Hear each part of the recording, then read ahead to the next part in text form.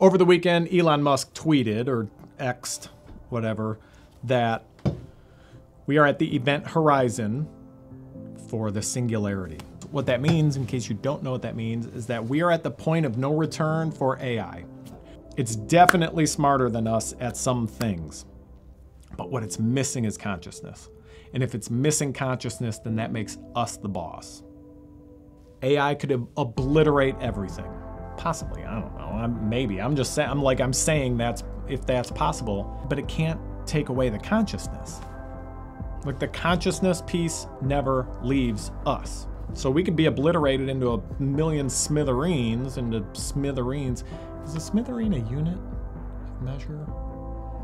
Into smithereens. What is a smithereen?